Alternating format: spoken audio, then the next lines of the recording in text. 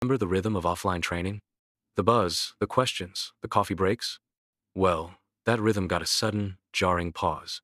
March 2022, Shenzhen hits pause for seven days. Suddenly, our meticulously planned offline sessions, both in Beijing and Shenzhen, were ghosts. The pandemic threw a curveball, and we had to pivot fast. So, what do you do when the physical world locks down? You build a digital bridge. Our veteran trainer, Liang Zhe, didn't just record lectures, he meticulously dissected every module, every practical tip, transforming the entire offline curriculum into bite sized video lessons. We uploaded everything onto a brand new online learning platform. No more geographical constraints, no more waiting for the next available slot.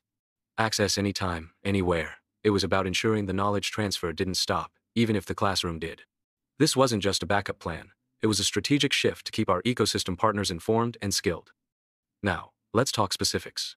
What exactly did this digital lifeline deliver? For any company wanting to join our core AIoT ecosystem, we offered three free learning slots.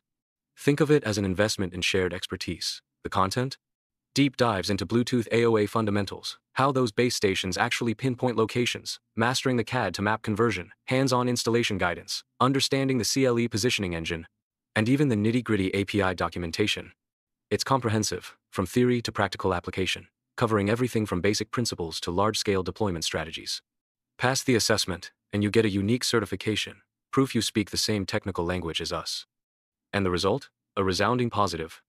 Partners jumped at the opportunity. Engineers got certified, bringing everyone onto the same page regarding Bluetooth AOA tech.